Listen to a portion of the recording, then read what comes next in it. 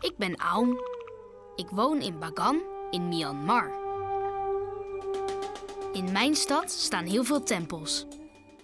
Ze zijn meer dan 800 jaar geleden gebouwd. Er staan vaak grote beelden van Boeddha in. Die worden vereerd. Er komen ook toeristen kijken. Ik verkoop ze aanzichtkaarten en souvenirs. Daarmee verdien ik genoeg geld om van te leven. Ik vind de tempels ook heel mooi. Het zijn grote koepels met een puntje daarop. Dat is een hele sterke constructie, want ze staan nog steeds. Daarom vandaag foolproof over koepels. Hoe zijn ze gemaakt? En kan ik zelf ook zo'n grote koepel maken? Maar niet zonder mijn assistent. Dit is Nie, de sterkste man van Bagan.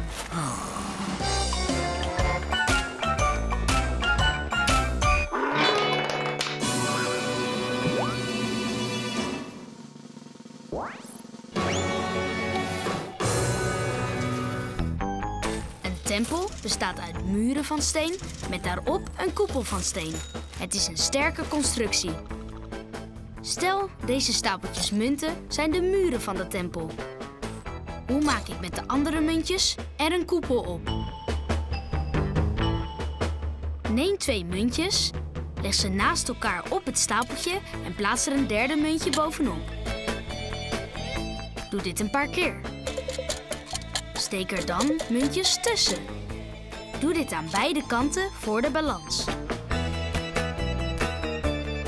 Met een beetje geduld en hulp kan je zo een hele koepel maken. Of brug, want daar lijkt het ook wel op.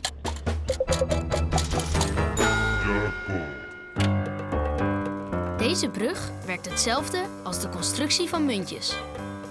De paal in het water is het muurtje. En aan beide kanten van de paal hangt een brugdeel. De constructie is in evenwicht.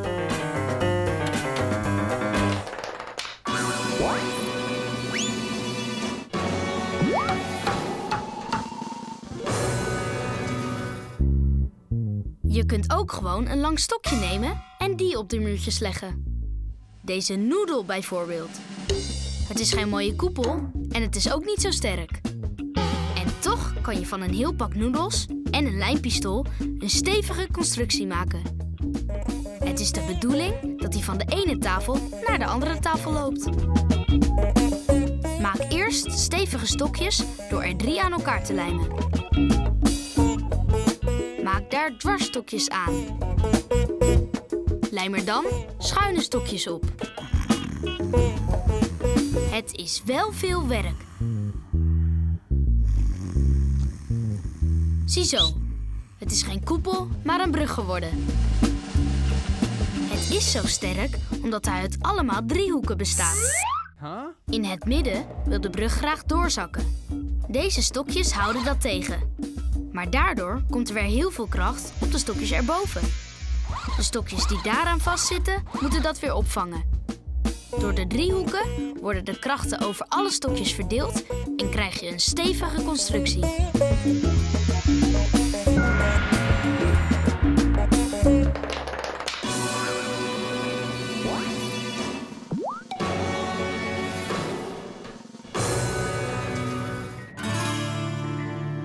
Hier in Bagan hebben we een brug van 300 meter lang. Hij is niet gemaakt van noedels, maar van staal. Toch ziet de constructie er hetzelfde uit. Door de driehoeken is hij heel sterk.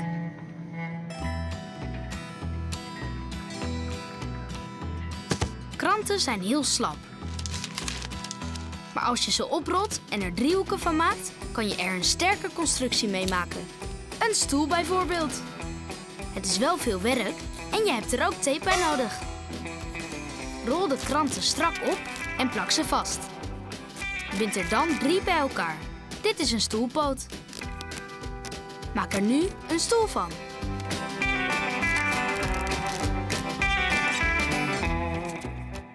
Zo is hij nog niet stevig. Je hebt driehoeken nodig. Schuine kranten maken de stoel stevig. Zo, hier nog een paar. Als het goed is, heb ik nu een stoel waar ik op kan zitten.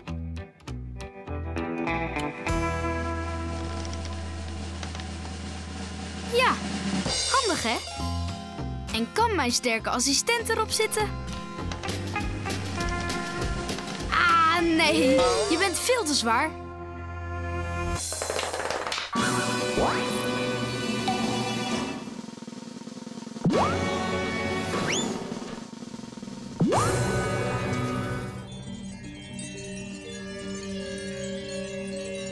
Onze koepels zijn geen driehoeken, maar rond en gemaakt van stenen. En moet je kijken hoe groot de afstand tussen de muren is. Kan ik ook een ronde koepel maken? Ik gebruik suikerklontjes.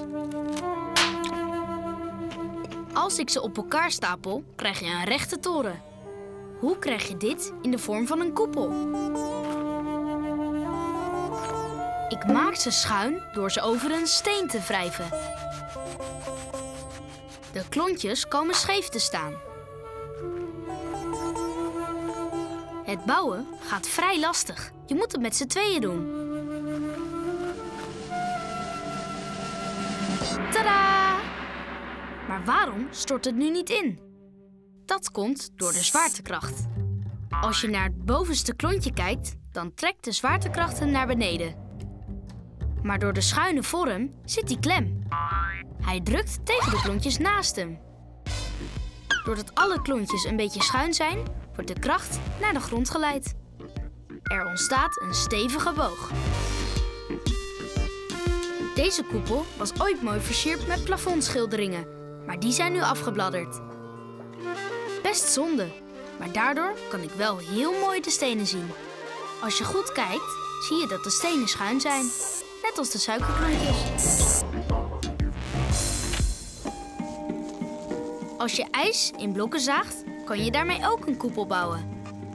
Het begint met een cirkel op de grond. Daarna worden de blokken laag voor laag opgestapeld.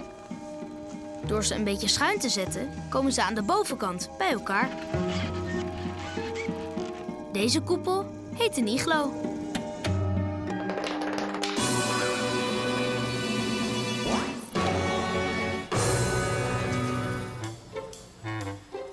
Kippen weten ook dat koepels heel sterk zijn. Het moet de kuikentjes beschermen. Een ei is ook een koepel. Als ik een plankje op een doos eieren leg, dan kan ik daarop staan, zonder dat ze breken. Door de ronde vorm van de eierschaal wordt de kracht over het hele ei verdeeld. De eieren blijven heel. Slimme kip. Wie wil er nog meer?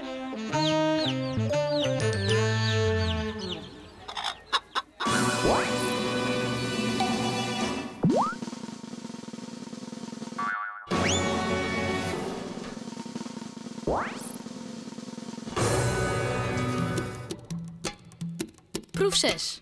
Ik weet nog een leuke truc.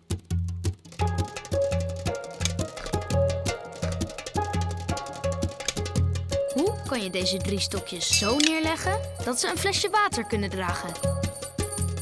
Haak ze in elkaar. Door het gewicht van het flesje worden ze tegen elkaar gedrukt en blijven ze zitten. En kan het ook in het groot? Spannend. Ja!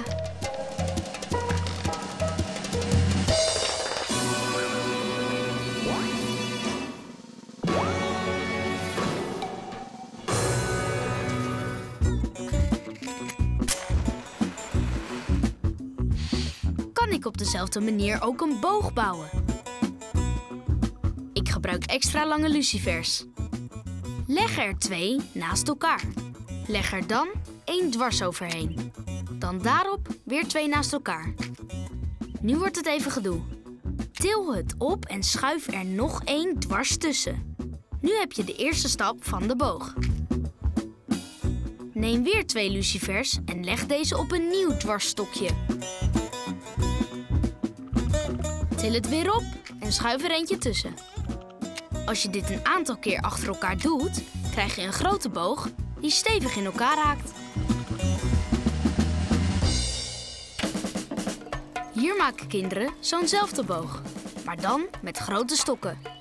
Deze manier van bouwen werd ooit door Leonardo da Vinci bedacht. Het werd door soldaten gebruikt om bruggen mee te bouwen. Het is super handig, want met een paar stokken kan je al een stevige constructie maken.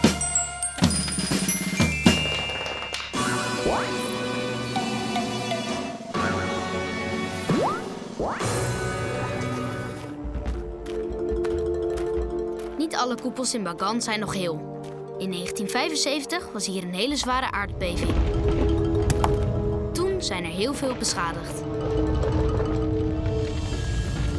Zou ik misschien een nieuwe koepel kunnen bouwen? Ik heb geen cement om de stenen weer op te metselen. Maar er groeit hier wel veel bamboe. Vier stukken bamboe leggen we in een vierkant. De uiteinden haken we in elkaar. Dus bovenonder, bovenonder. Dan nemen we weer twee stokken en haken deze in een van de hoekpunten van het vierkant. De constructie komt omhoog. We gebruiken oude fietspanden om ze bij elkaar te houden.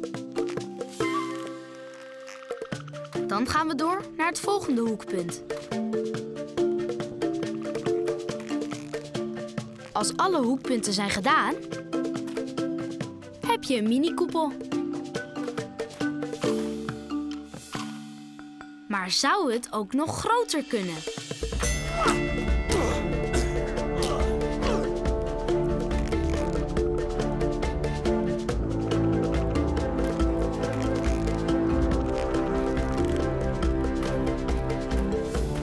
Wauw!